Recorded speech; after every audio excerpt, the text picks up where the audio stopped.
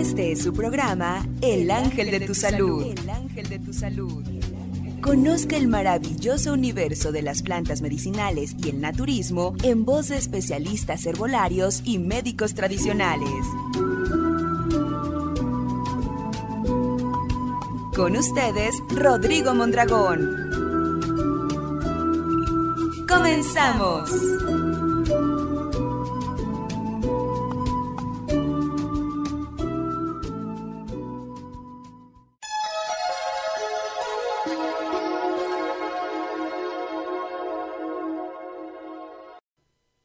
Hola, ¿qué tal amigos? Muy buenas tardes. Con ustedes, Rodrigo Mondragón, la voz del ángel de tu salud, con el gusto y placer de siempre. Platiquemos acerca del estreñimiento. Ese estreñimiento por causas emocionales. ¿Sí? Existe.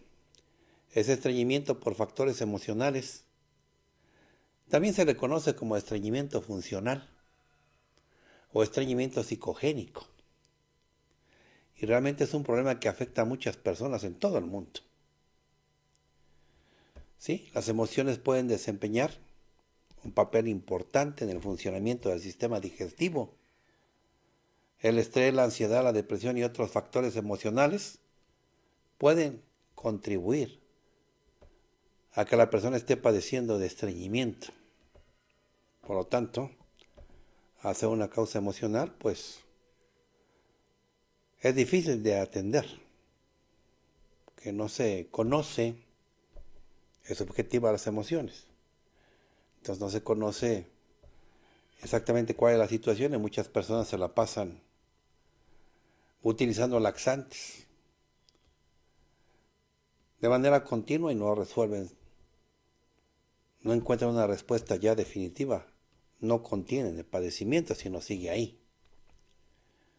Cuando una persona está bajo estrés o ansiedad, el cuerpo puede experimentar cambios en lo que se refiere a la funcionalidad del sistema digestivo.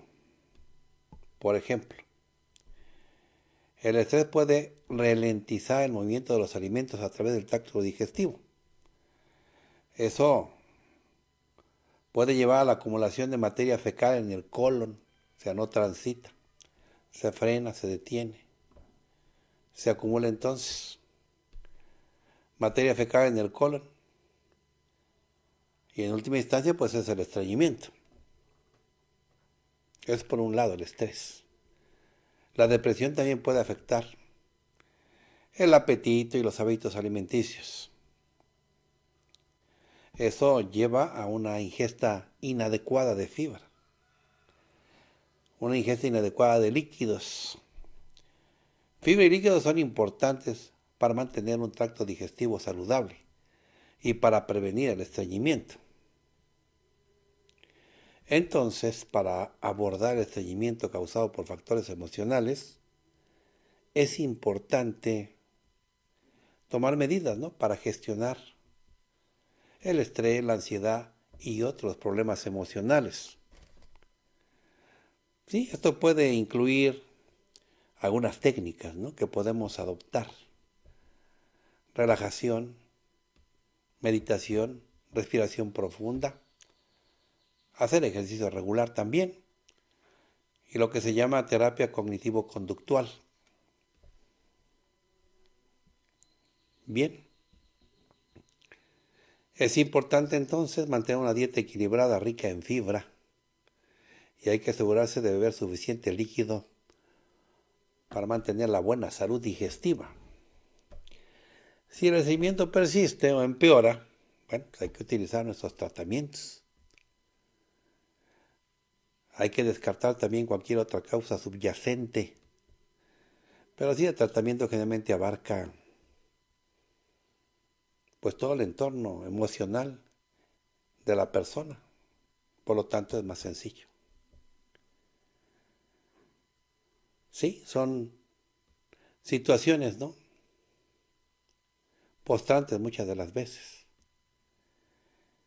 Debidas a qué? A factores emocionales. En donde el sistema digestivo se ve afectado por el estrés, por la ansiedad, por la depresión Pueden ser otras emociones también. ¿eh? ¿Qué es lo que sucede cuando la persona está con estreñimiento? Pues hay una alteración del movimiento intestinal. Sí, porque el estrés y la ansiedad pueden afectar la función motora del intestino, lo que ralentiza el movimiento de las heces a través del tracto digestivo. Esto puede llevar a la acumulación de materia fecal, decíamos, en el colon y puede dificultar la evacuación. Hay cambios en, el, cambios en los hábitos alimenticios, porque las emociones pueden influir en los hábitos alimenticios de una persona. Por ejemplo, el estrés puede hacer que las personas coman menos, coman menos fibra, beban menos líquidos. Eso contribuye al estreñimiento. Analicemos los síntomas y los signos. Por supuesto que hay dificultad para evacuar. La dificultad para pasar las heces, hacerlas transitar, es uno de los síntomas más comunes del estreñimiento. Las personas pueden experimentar una sensación de incompletud, o sea que no evacuó lo suficiente, puede tener sensación una sensación de que no puede vaciar la persona completamente a sus intestinos. Menos de tres evacuaciones por semana. Es cuando determinamos que ya hay estreñimiento por factores emocionales, si es que es el caso.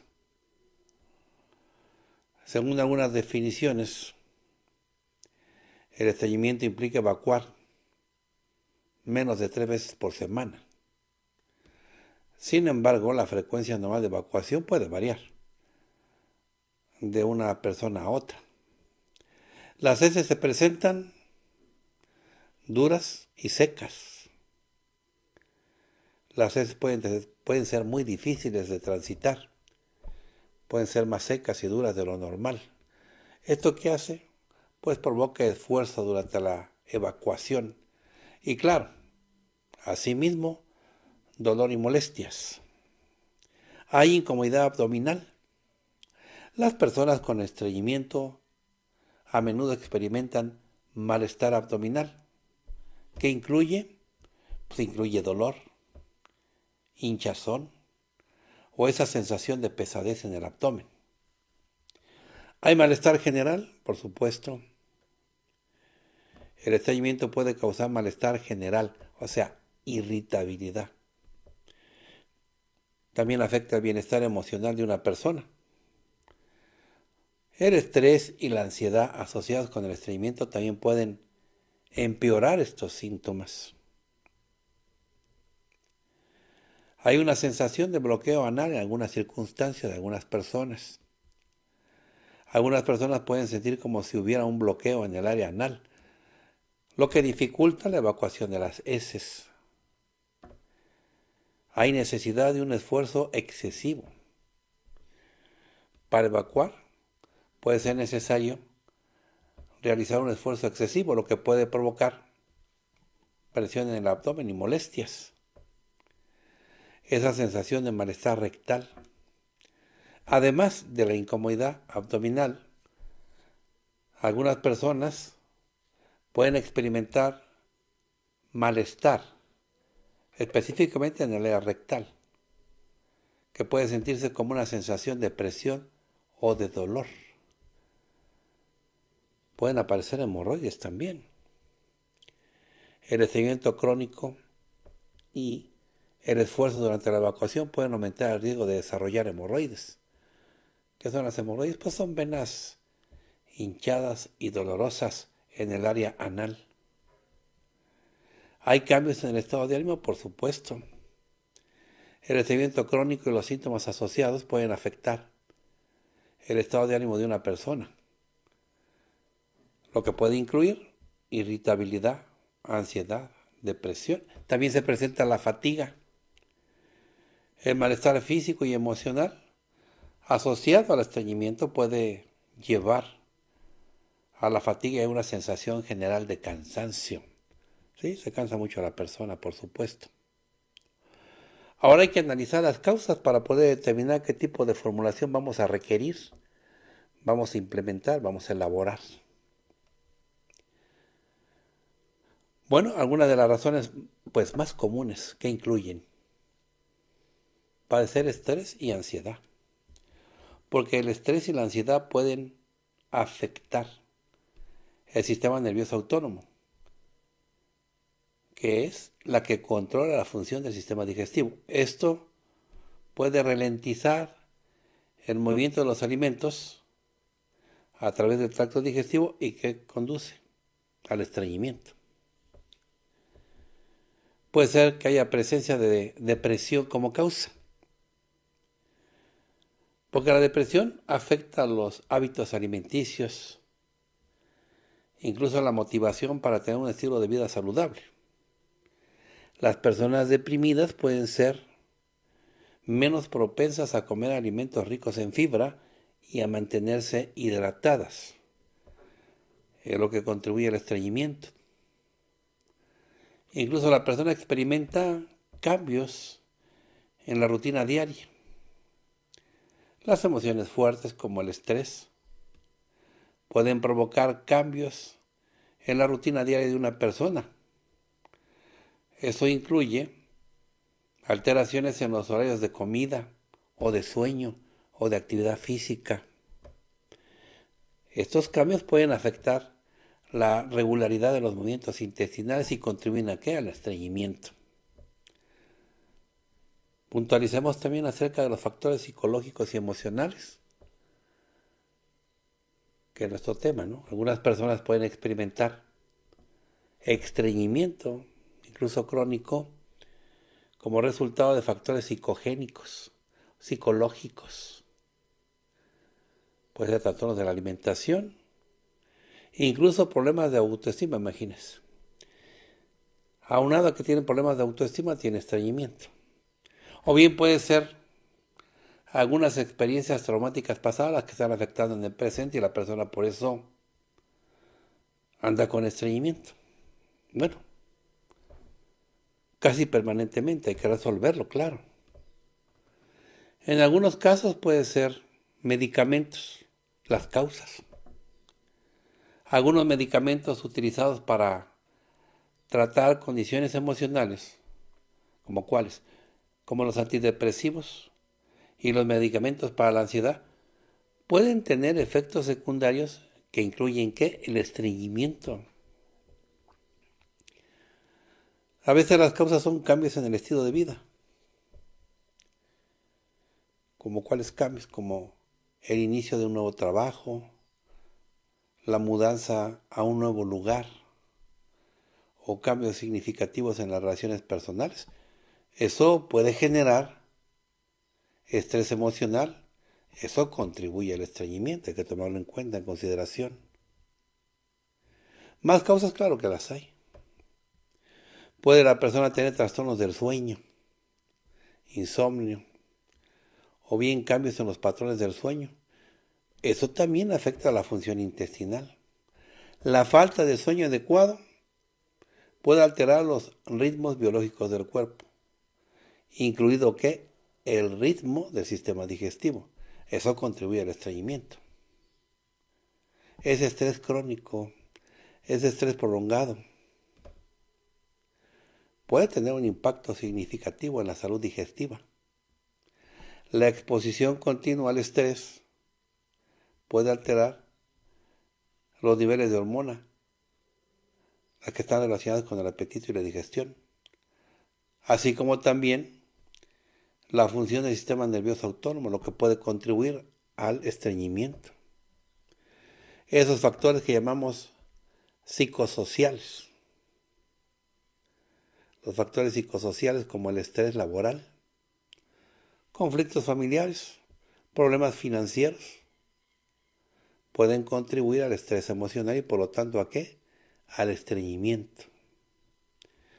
Habrá que analizar también los disturbios, ¿no? Si no tenemos el padecimiento o estamos sin poderlo resolver. Va a haber un malestar abdominal, ¿no?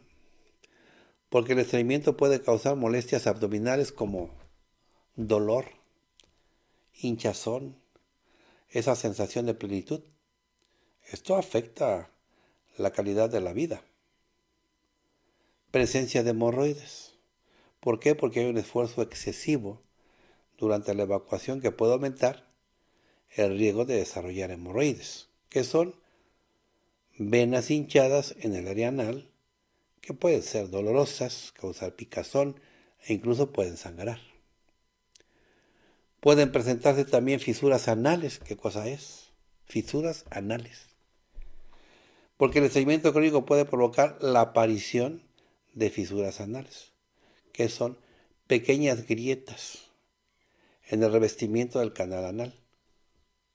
Y estas fisuras o agrietamientos causan dolor durante la evacuación y aparte causan sangrado. Bueno, vamos al corte, regresamos, platicamos más.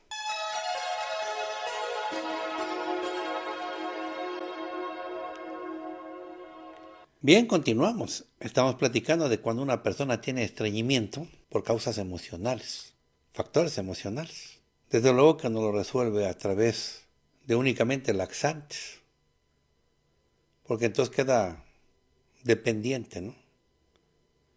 Digamos que ha esclavizado los laxantes su problema es emocional, habrá que atenderlo como es, como eso, ¿no? Como que es un problema emocional que está provocando como consecuencia que la persona tenga estreñimiento. Aparte se tiene que atender, ¿eh? De lo contrario puede haber disturbios, decimos. Puede, hacer, puede aparecer una serie de trastornos y molestias que van a afectar el bienestar físico, aunque también emocional, de una persona. Un disturbio puede ser la impactación fecal, así se llama, impactación, impactación fecal, ya que en casos graves de estreñimiento, las heces pueden acumularse y endurecerse en el colon. Fíjense, acumularse y endurecerse en el colon. Es lo que puede llevar a una impactación fecal. Es una situación difícil, ¿no? ¿Por qué llegar a esto se puede resolver. Algunas personas presentan síndrome del intestino irritable por no atender esta situación de estreñimiento por estado o factor emocional. El síndrome del intestino irritable hay que analizar, ¿no? Para poder comprenderlo. El estrés emocional y el estreñimiento pueden contribuir al desarrollo y empeoramiento del síndrome del intestino irritable. Es un trastorno crónico. ¿Qué es lo que causa? Dolor abdominal, cambios en los estados o hábitos intestinales y mucho malestar. Se pueden presentar fatiga, falta de energía, el malestar físico y emocional que está asociado con el estreñimiento puede causar fatiga y falta de energía. Eso dificulta la realización de actividades diarias. Más problemas emocionales. También puede ser parte del disturbio ¿no? que ocasiona el padecimiento. El estreñimiento crónico puede afectar el bienestar emocional de una persona. ¿Qué le causa? Irritabilidad, ansiedad, depresión e incluso estrés adicional. Hay que analizar bien las consecuencias. Se puede, puede haber un agravamiento de los síntomas si no se trata. El estreñimiento puede empeorar con el tiempo, lo que puede llevar a síntomas más severos, molestias adicionales, como pudiera ser dolor abdominal, distensión y malestar rectal. Si no atendemos el padecimiento se pueden presentar complicaciones intestinales. El estreñimiento crónico puede aumentar el riesgo de desarrollar complicaciones intestinales como la impactación fecal, fecaloma, que es masa endurecida de heces en el colon. Diverticulosis también puede provocar, que son bolsas ¿no? en la pared del colon. O puede provocar un megacolon, que es cuando está muy dilatado el colon, o sea, muy crecido por la inflamación por hinchazón. En fin, Hay que atender esta situación con prontitud. Hay el recurso, hay la forma. A través de las plantas, una buena combinación de plantas, un compuesto, una fórmula magistral, y vamos a sentirnos bastante bien. Tener estreñimiento, tener constipación es una situación muy difícil. ¿Por qué? Porque puede haber hasta hemorroides, imagínense, hemorroides sangrantes. A veces ya están las dos cosas presentes. No se ha resuelto el estreñimiento, la constipación y ya está ahí la persona con hemorroides. Entonces, habrá que utilizar algunas plantas que conocemos, que siempre han funcionado, son muy certeras. Más hay que combinarlas adecuadamente para hacer la fórmula que se va a requerir. De esta forma, contenemos bien, resolvemos. Está con nosotros Iván. Qué suerte, ¿no? Iván es un herbolario excelente, estupendo, con mucha filosofía adecuada acerca de cómo utilizar la medicina natural y la, medicina tradicional. Está con nosotros que nos platique, ¿no? Acerca de nuestro tema, acerca de las plantas, de los recursos que podemos implementar, que podemos nosotros incluir en nuestra vida diaria. Pues bienvenido y adelante, te escuchamos. Muchas gracias, maestro. Efectivamente, el estrés emocional incide de una manera muy importante en los diversos trastornos que llegan a manifestarse en el aparato digestivo, como es el caso del estreñimiento, en el cual usted menciona de una manera muy acertada eh, que el estrés emocional, bueno, pues influye directamente en la disminución de los movimientos intestinales. Cuando el sistema nervioso se encuentra eh, sufriendo este tipo de excitaciones en el mismo, bueno, pues generalmente vamos a encontrar que el peristaltismo intestinal disminuye, se minimiza. Entonces, consecuentemente, pues efectivamente hay una disminución en el movimiento y el tránsito de los alimentos que ingerimos se vuelve mucho más lentos. En este caso, hay que identificar que también ese estrés emocional suele ser el causante de los estados inflamatorios sistémicos que se llegan a manifestar en el aparato digestivo y que, bueno, pues van agudizando el tema del estreñimiento, pero también van a ser los detonadores de la falta de absorción de nutrientes, porque efectivamente cuando hay mucha inflamación a nivel intestinal, el aparato digestivo pierde la capacidad para cumplir con esa función.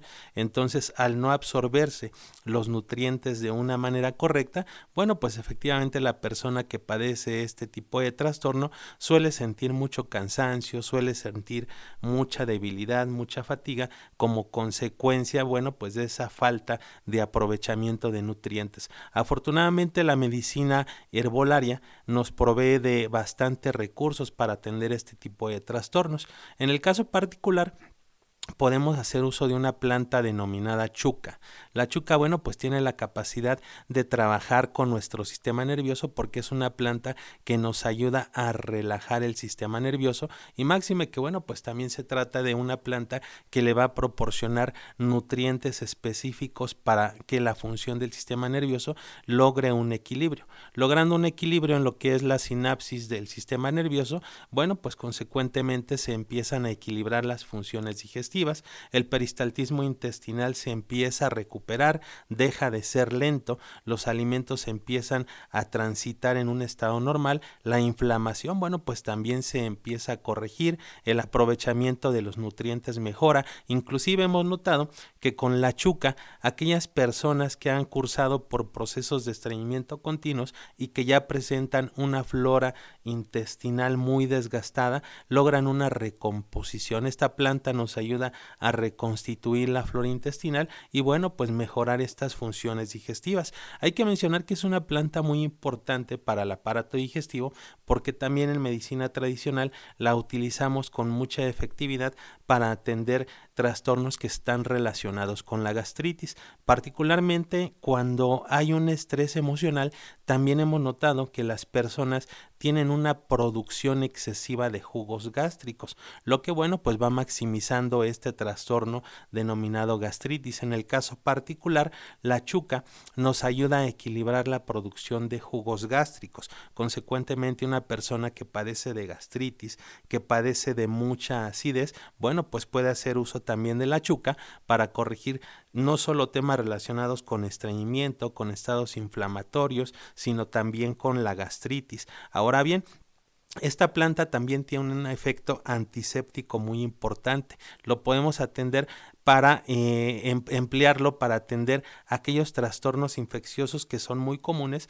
y que son producidos por una bacteria denominada Helicobacter pylori, que bueno, pues es un estado infeccioso que se genera recurrentemente y en el cual, bueno, pues la chuca nos va a ayudar a corregirlo, particularmente cuando este proceso infeccioso genera lesiones, es decir, cuando se llegan a desarrollar úlceras en el estómago, cuando se llegan a desarrollar úlceras a nivel intestinal, la chuca tiene la capacidad capacidad de corregir el proceso infeccioso que las genera, pero también como es una planta con efectos antisépticos y cicatrizantes, nos va a ayudar a corregir la presencia de esas úlceras, nos ayuda a cicatrizarlas, nos ayuda a sanarlas. Entonces vemos que la aportación de esta planta es muy interesante para nuestro aparato digestivo. También es importante mencionar que aquellas personas que requieren de un buen eupéptico, bueno, pues en la chuca tienen una excelente opción. Hay personas que no sufren ningún tipo de este trastornos, pero generalmente empiezan a tener digestiones difíciles. Entonces la chuca, bueno, pues resulta ser una excelente opción para mejorar las funciones digestivas. Y bueno, pues es muy importante mencionar que también es una planta con una actividad carminativa. Esto es cuando el organismo acumula en su sistema digestivo mucho alimento debido a la falta de tránsito intestinal, se generan muchos gases, se acumulan muchos gases, hay muchas flautulencias, en este caso la chuca también tiene la capacidad de corregir este problema. ¿Por qué? Porque el efecto carminativo nos ayuda a mejorar el tránsito intestinal y a expulsar esos gases que se acumulan en exceso en el aparato digestivo. Entonces podemos emplear esta planta para resolver esos problemas y también, como lo dijimos al inicio, para fortalecer las funciones del sistema nervioso. Maestro. Vamos al corte, regresamos.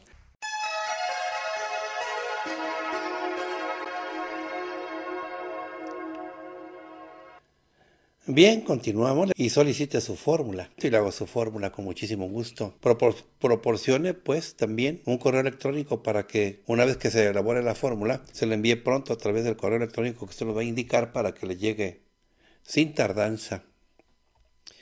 Por otro lado, nosotros elaboramos una fórmula en el transcurso del programa. Esa fórmula la colocamos directamente en nuestra página para que ahí en nuestra página esté disponible cuando visite usted la página con ventajas de que está en la plataforma y entonces podemos reenviar fórmulas a los amigos.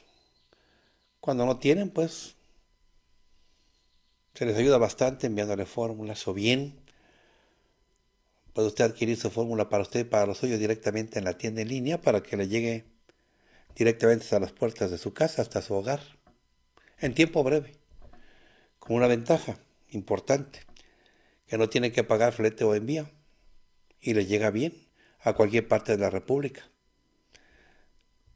A través de la página, la tienda en línea, haga su, su pedido y le llega con prontitud. Bien, también le recuerdo que puede usted comunicarse a través de las redes sociales de Internet, puede comunicarse a través de ex, antes Twitter con arroba la voz guion bajo del ángel arroba la voz guion bajo del ángel o puede comunicarse a través de Facebook con el ángel de tu salud México, el ángel de tu salud México. O bien puede ver el contenido de Instagram con el ángel de tu salud MX, el ángel de tu salud MX. Bien, aprovechamos para mencionar a nuestros patrocinadores. Recuerde que hay línea de ayuda herbolaria. Para que usted, si no puede salir de casa, pueda por vía telefónica solicitar una fórmula herbal. El teléfono que tiene que marcar, anotamos cuál es. 55 57 64 59 50. 55 57 64 59 50. El horario es de 9 de la mañana a 6 de la tarde, de lunes a sábado.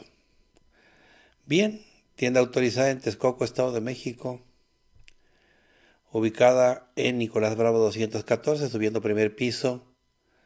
Nicolás Bravo 214, subiendo primer piso, Colonia Centro, entre Fray Pedro de Gante y Leandro Valle y a una cuadra de la Catedral, en Texcoco, Estado de México. En la Ciudad de México, tienda autorizada. En el Centro Histórico de la Ciudad de México, calle 5 de febrero, número 48. 5 de febrero, número 48. Casi esquina con Mesones, a una cuadra de la Farmacia París. Vamos a anotar el número telefónico 55 51 62 51 21. 55 51 62 51 21. Metro cercano, Metro Pino Suárez. Tienda en la Merced, cerca del Mercado de los Dulces. Tienda autorizada de la dirección. Avenida Anillo de Circunvalación número 420. Avenida Anillo de Circunvalación número 420, local 4.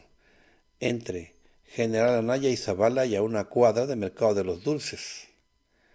Anotamos el número telefónico 55 54 91 16 81. 55 54 91 16 81. Tienda en Huipulco, Ciudad de México, en Huipulco, al sur de la ciudad. Calzada de Tlalpa número 4450, Calzada de Tlalpa número 4450, local D. Colonia San Lorenzo Huipulco, enfrente de un VIPS y a cuadra y media de la estación de metro.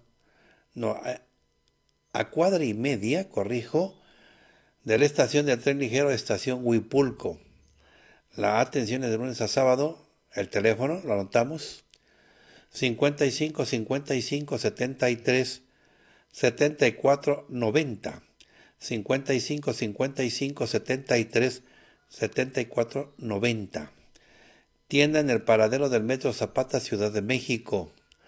En Avenida Universidad número 790. Sótano 1, local 13. Paradero del Metro Zapata, con Santa Cruz, Atoyac. Anotamos el teléfono para más informes. 55 56 04 60 95 55 56 04 60 95 Tienda en el paradero del metro Zapata. Paradero del metro Zapata. Bien, momento ya de elaborar la fórmula. La fórmula herbal pues del día de hoy, ¿no? Que es para estreñimiento causado por factores emocionales. Mencionamos signos y síntomas para identificar bien el padecimiento, pues hay dificultad para evacuar. Cuando la persona evacúa menos de tres veces por semana. Cuando las heces pueden ser difíciles de pasar y pueden ser más secas y duras de lo normal. Hay malestar abdominal que puede incluir dolor, hinchazón, o sensación de pesadez en el abdomen. Después de comer algunas personas pueden sentir una sensación de plenitud o distensión abdominal. Hay malestar general, sensación de bloqueo anal. Para evacuar puede ser necesario realizar un esfuerzo excesivo. Hay una sensación de malestar rectal. Este es el padecimiento, son sus signos. Vamos a elaborar la fórmula, vamos anotando. Utilizamos tila de bolita, nogal de macadamia, mano de mono, escamonea, cedrón, chuca. Menciono otra vez, tila de bolita, nogal de macadamia, mano de mono, escamonea, cedrón, chuca. Mezclamos estas plantas juntas por partes iguales ya mezcladas. Tomamos una cucharada de la mezcla para un litro de agua, 10 minutos de hervor. Y se va a tomar antes de cada alimento.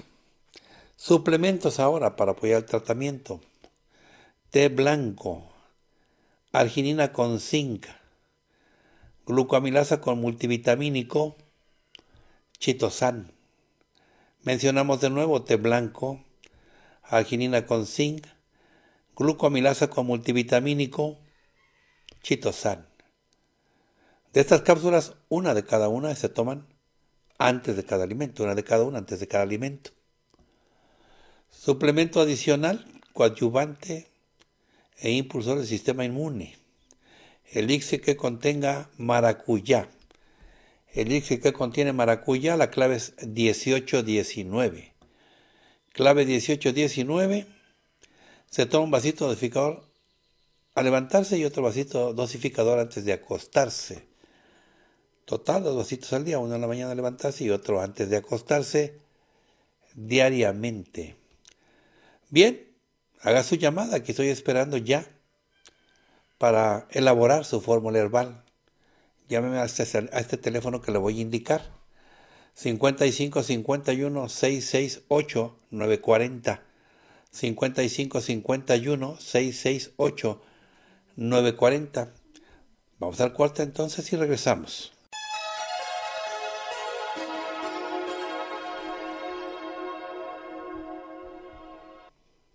Bien, continuamos. Vamos a dar asesoría herbolaria a las personas que nos están ya marcando, llamando vía telefónica, así es de que iniciamos.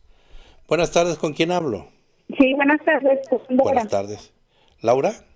Dora. Adelante. Ah, Dora, corrijo. Dora, adelante, te escucho. Eh, eh, mi, mi llamada es para comentarle lo siguiente. Eh, me diagnosticaron artritis reumatoide. Sí. Eh, me mandaron a hacer varios análisis para confirmación. Sí. En los mismos análisis me salió hígado graso y eh, una prediabetes. ¿Qué más? Entonces, eh, eso sería en cuestión de, de lo que me, me salió en mis análisis. Sí. Y me gustaría que me recomendara lo que es el tratamiento. Sí, para, claro, Para este para iniciar. Bueno. Y este, eh, uno de los principales síntomas que traigo en cuestión del medicamento, pues es mucha irritación estomacal, inflamación, eh, no, nada más estoy, quiero estar dormida, no me da hambre. Somnolencia, sí, ¿qué más? Sí, este, me duelen pues lo que son los huesitos, las coyunturas, las articulaciones. No duermo por las noches, ¿Qué otra cosa? Sería, pues, pues, serían esos los síntomas. Bueno, ¿qué edad tienes? 64. ¿Cuánto pesas? Eh, ¿Cuántos, kilos pesas? 69 kilos. 69 kilos. ¿Estatura? 1,65. 1,65, bueno. Vamos entonces a elaborar la formulación. Con gusto, con gusto. Bien, vamos anotando. Se ocupa lo siguiente. Utilizamos malabar, indio, de náhuatl, cenizo de Monterrey, ahuehuete, chicalote. Mezclamos, bueno, menciono de nuevo. Malabar, Yantén Indio, Tenáhuatl, Cenizo de Monterrey, Ahuehuete, Chicalote. Mezclamos las plantas juntas por partes iguales ya mezcladas. Una cucharada sopera para un litro de agua, 10 minutos de hervor. Se toman como agua de uso. Ahora suplementos. Utilizamos los siguientes. Utilizamos manungay con inositol, sería el primero, manungay con inositol. Abrojo amarillo también, aceite de pescado, frángula con treonina, menciono de nuevo, malungay con inositol, abrojo amarillo, aceite de pescado, frángula con treonina. De estas cápsulas, una de cada una se toman antes de cada alimento, una de cada una se toman antes de cada alimento. Me dio gusto atenderte. Continuamos, atiendo a la siguiente persona. Buenas tardes, ¿con quién hablo? Buenas tardes, doctor. Buenas tardes. De la Luz. María de la Luz, adelante, te escucho. Sí, este, mire, este, gracias por tomar mi llamada. Con gusto. Tengo presión venosa, muy severa. Presión venosa. Sí, presión venosa severa. Sí. Soy hipertensa. hipertensa. Hipotiroidismo. Hipotiroidismo. Sí, hipotiroidismo. Este, ¿Qué más? Artrosis, con dolor, pero con mucho dolor muscular. Sí. No puedo dormir en las noches del dolor porque se me adormecen las, la planta de los pies este, y las manos. Sí. Tengo incontinencia urinaria. Me paro tres veces en la noche. Este, sí. Los párpados. Mm, tengo este, bolsas abajo de los ojos. Sí. hinchados. En dolor de rodillas, ardor y dolor. Sí. Este, también sabe que, que dolor en nuca, cansada, muy fatigada, no quiero levantarme en las mañanas. Sí. Este, padezco ojo seco con ardor, comezón, la vista borrosa. Sí. Verrugas en, en cuerpo y cara, todo, todo, me están saliendo demasiadas en la cara. Sí. ¿Qué más? Luego me dio COVID en enero y me dieron muchísimo antibiótico. Luego estoy, me sacaron una muela, más antibiótico, entonces como que me irritó muchísimo el estómago. A ver si Comprendo. antibiótico natural, por favor. Sí, es lo que voy a hacer, por supuesto. Pues te voy a dar un antídoto para que te quite los residuos. ¿Qué más? Gracias. Este, tengo reflujo, caída del cabello. Reflujo, caída del cabello. ¿Qué más? Este, ¿qué más? ¿Qué más?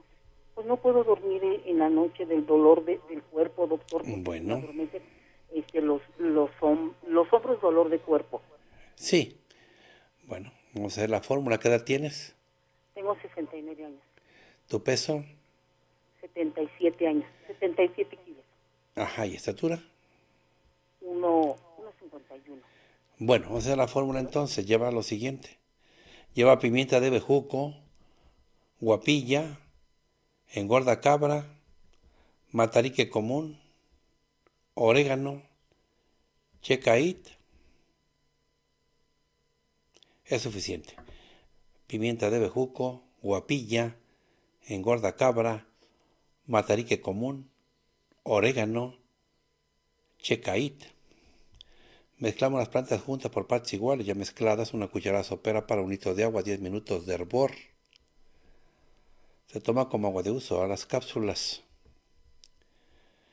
Brami con leucina, glutamina con coral, golden seal, licopodio natural. Voy a mencionar de nuevo. Brami con leucina, glutamina con coral, golden seal, licopodio natural. De esas cápsulas, una de cada una se toman antes de cada alimento. Me dio gusto atenderte. Continúo Atiendo a la siguiente persona. Buenas tardes, ¿con quién hablo? Buenas tardes, con Jaime. Jaime, adelante, te escucho. Eh, sí, mire, eh, bueno, el, problema que tengo yo es de que tiene un año que me diagnosticaron trombosis. ¿Trombosis en eh, dónde? Bueno, lo que me, ahora sí que los problemas que tengo. ¿Pero en qué parte de tu cuerpo? ¿Mandé? ¿En qué parte de tu cuerpo la trombosis, Jaime? En la sangre. Sí, pero ¿en qué parte de tu cuerpo? ¿Tu pie, tu mano, tu pulmón? ¿Dónde? Ah, en mis piernas. En las piernas. ¿En, una, una o en las dos? En las dos. Bueno, ¿qué más? Adelante. Este, bueno, eh, pues también la pérdida de, de la oxigenación. Este, saturo muy poco. Este, por ende, pues, se me hinchan, bueno, se me ponen morada los dedos. Que sí, morada los dedos. Muy poco que la, por la falta de aire. Sí, comprendo. este, y pues prácticamente es cuando este pues me excedo de, de comer este grasas o, o quesos o leche. Sí, sí. ¿Qué más? Este, pues también luego hay días que este no, amanezco sin energía. Sí. O este, o me da mucho sueño en el día y en la noche no puedo dormir. Sí. Ajá. ¿Qué otra cosa? que son los, los problemas que más presento ahorita. Bueno, ¿qué edad tienes? Tengo 31 años. 31 años. ¿Cuánto pesas? Eh, peso 54. 54. ¿Y tu estatura? 1,50. 1,50. Ajá. Bueno, pues te hago tu fórmula, por supuesto, con gusto. Bien, entonces lo siguiente, anotamos alpiste canadiense, acagual, flor cónica de la pradera también, cordobán,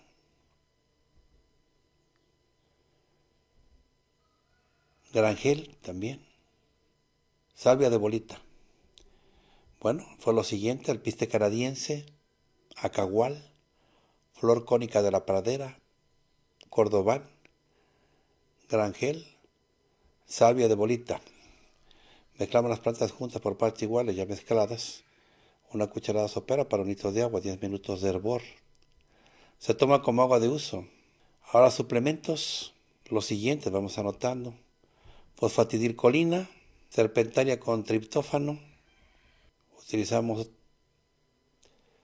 betacaroteno con vitamina A